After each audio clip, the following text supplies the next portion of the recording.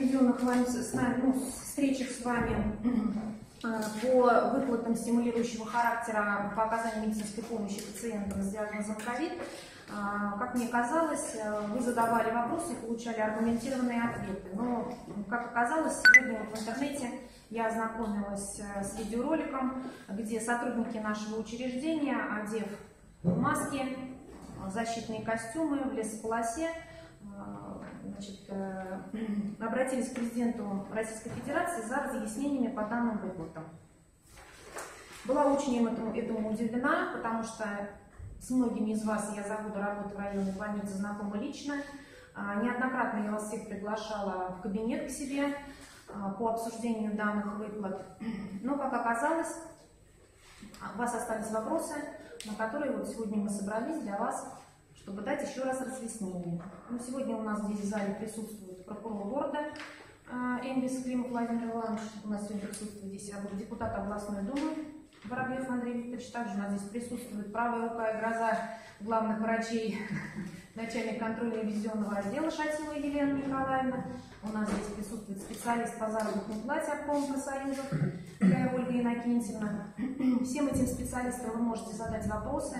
Если кто-то а, из вас, всех присутствующих здесь, боится эти вопросы задать ну, в моем присутствии, то в конце нашей встречи вы можете подняться ко мне в кабинет, и Елена Николаевна и Ольга Иннокентьевна ответить на ваши частные вопросы по конкретным случаям, по начислению заработной платы и э, по начислению выплат за дополнительную работу с пациентами с диагнозом ковид.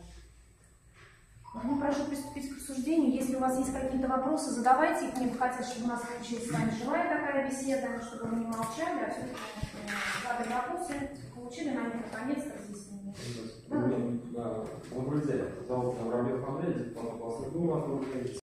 Предложите, пожалуйста, еще раз задать вам вопрос, вам или участникам совещания. Уважаемые коллеги, не стесняйтесь, задавайте вопросы. У нас здесь присутствуют представители фельдшерско-акушерских пунктов, у нас здесь присутствуют представители врачебных амбулаторий, то есть это непосредственно те сотрудники, которые а, работают на селе. Ну, давайте. Скажите, пожалуйста, на сегодняшний день в прокуратуру города Энгельс поступали ли обращения от сотрудников Энгельской РБ с жалобами на невыплату дополнительных финансовых стимулирований? Нет, таких жалоб не поступало. Спасибо. Я главный врач Ингельской районной больницы Широкий Елена Борисовна. Сегодня в связи с обращением медицинских работников Ингельской районной больницы по вопросу дополнительных выплат а, а, с диагнозом ковид была проведена встреча. А, в ходе этой встречи вопросов со стороны медицинских работников не поступило. На встрече присутствовали 9 человек. Это говорит о том, что на сегодняшний день, а, в связи с тем, что неоднократно администрацией районной больницы проводились а, разъяснительные мероприятия, встречи, медицинские советы, вопросов у медицинских работников по дополнительным выплатам не возникло. А сколько людей приглашали сюда? А, на, на данную встречу приглашались все сотрудники сельских врачебных амбулаторий и фельдшерско-акушерских пунктов.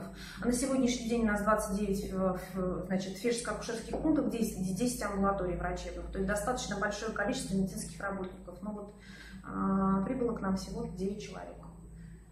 А вот на сегодняшний день выплаты э, получили, медицинские работники получили в полном объеме. В апреле месяце получили выплаты 11 человек. В мае месяце выплаты получили 16 человек. Это и врачи, и средний медицинский персонал. Выплаты э, осуществлены в полном объеме, 100%. Первый пациент с ковидом у нас зарегистрирован в апреле месяце на территории нашей поликлиники. Скажите, пожалуйста, Я заведующий ФАП поселка Боля, фельдшер, ну, сейчас безымянка. Скажите, у вас какая численность? Э, на ФАПе у меня 970 человек. А, я имею в виду медицинских сотрудников. А, медицинских два. Фельдшер и медсестра. Хорошо. И э, больше технических помещений. То есть вы вдвоем все делаете? Вдвоем делаем. Хорошо, втроем, да? А какая у вас зарплата? У вас какие-то выплаты положены? по данным постановления президента, который начал? По ковидным? Да. По ковиду пока никаких таких нету. То есть Потому у вас... что у меня нету контактов. Ну, я понимаю. То есть, хорошо, а тот, кто контактирует непосредственно здесь, может быть, тогда не, не сельских поселений, а вот в данных мероприятиях? Ну, есть такие? Сеспап. Ну, они Сеспап в Москве в случае зарегистрированы 8 апреля. А, это программа амбулатория, но вот я вижу сейчас в зале, они